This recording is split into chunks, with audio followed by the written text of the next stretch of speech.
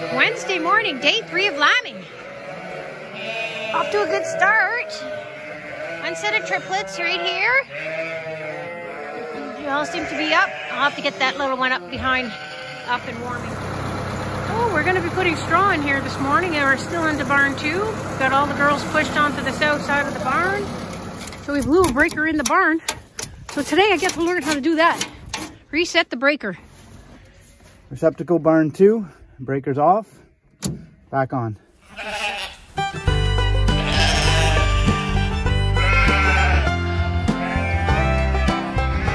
We're back in barn one, and this group is uh, beginning its late gestation period. So we will begin to alter their feeding plan again. So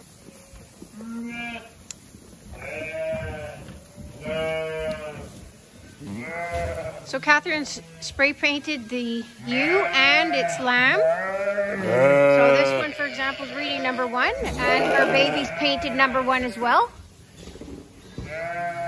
And the lamb has also been tagged. Should have an RFID tag. Let's see this one. This one's easier to see.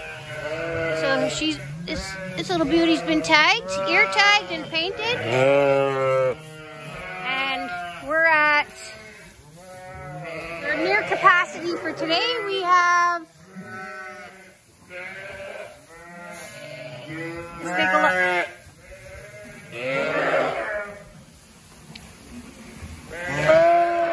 We have a total of 17 pens and we're at 15 and it's first thing this morning.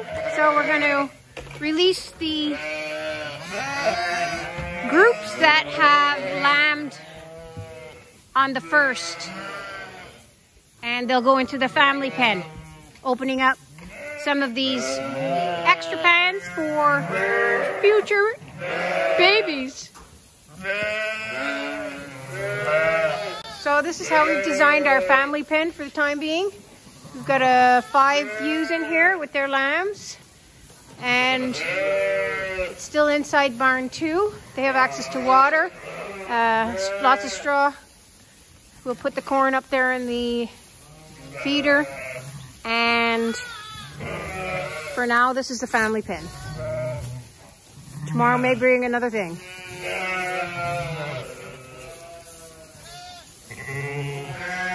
So we have a few more open lambing pens for additional ewes to lamb throughout the day.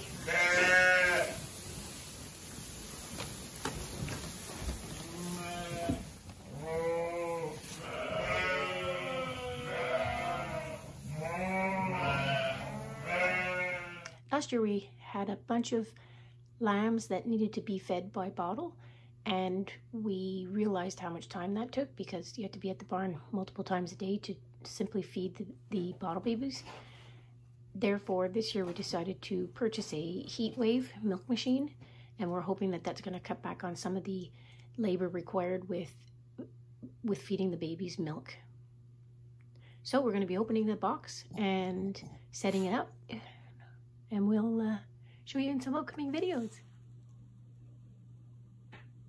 So that's everything that's included. So now we'll have to check over the handbook and see if we can figure out how to put it all together.